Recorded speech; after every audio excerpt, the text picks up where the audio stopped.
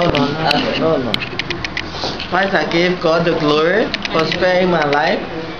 See, 75 years. I thank all of you for coming out this afternoon to celebrate with me. It's indeed a pleasure. I thank you all for everything you have done and been doing for the Freeman family. We've been away from our home for 53 years. We've been in Cote d'Ivoire for 35 years. So d'Ivoire is like uh, my second home. I didn't intend spending my birthday here, to be frank. I told my daughter I wanted to spend it home with my my husband's parents and all, you know, I decided to have a big, but I'm not a person who like big parties and all like that.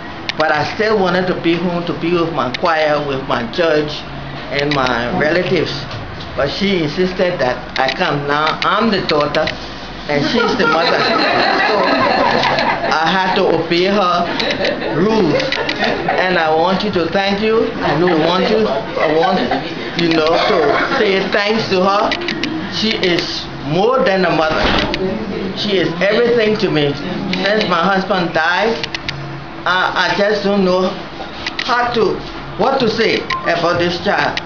This child has been so good to me. I'm home every at least every other day she's calling to find out I'm all right. And I just thank her. I have other kids they call but they're all away and but she make, make sure that I'm doing fine. And I am doing fine. I thank God. In Liberia, I have relatives of my husband. I don't have any relatives of my own. They are all in the States. But my husband relatives really take care of me. They said my husband used to say I was the apple of his eye. Mm. And so they all hold me up. They are all of them are there and are very nice and I'm very happy. I'm very, very happy. She said to me the other day, Mommy, it looks like you just anxious to go now.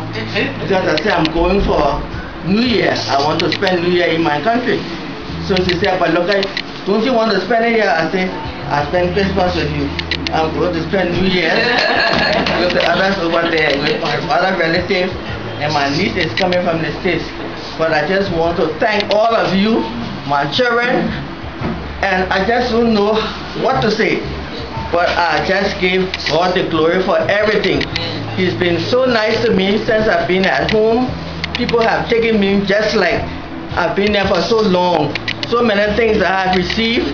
People who've been there for so many years haven't received it. I have lights, I have water, I have everything that I should have. And there's so many there who don't have. You know, they have been trying to get it, you know, but it's difficult. But I just thank God and I thank God for the IPCA. I'm happy I'm here for Thanksgiving. We celebrated Thanksgiving in my church at home. I go to my husband's church about 40 miles from Monrovia every Sunday. Once a month, I go to my church in the capital.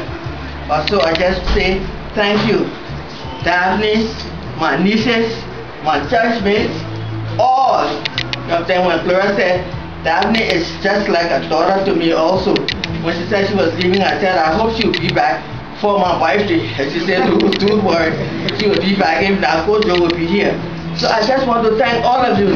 and Marie, I'm so happy to see uh, Jackie. I haven't seen her for so long. I, I, I just so I'm filled with joy. Seeing all of my friends, all of my my nieces. I have this one. I have the other one from Saint Marie. I have the another doctor coming in from Saint coming from Saint Marie. And so I just feel so happy that you all were able to make it and come to help me. I mean, you joining me in celebrating my 75th year. My husband has said, when you get 75, we'll have a big party for you because I know you don't like parties. And I don't. I prefer to take my cake and carry it and celebrate with my choir. This is what I do all the time. When I was here, I would take it and celebrate with, with my choir. And so that's what I plan to do. But I just thank you. But I thank you for my daughter. She's been so good to me. She's been so good to me.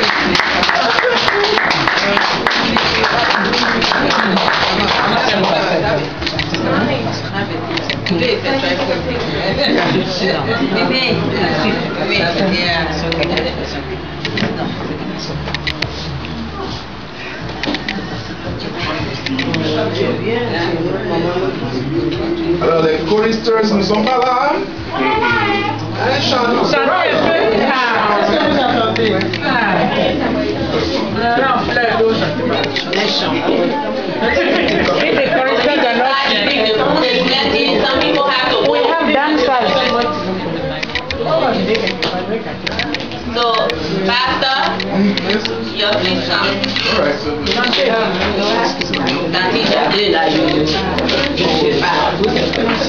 Thank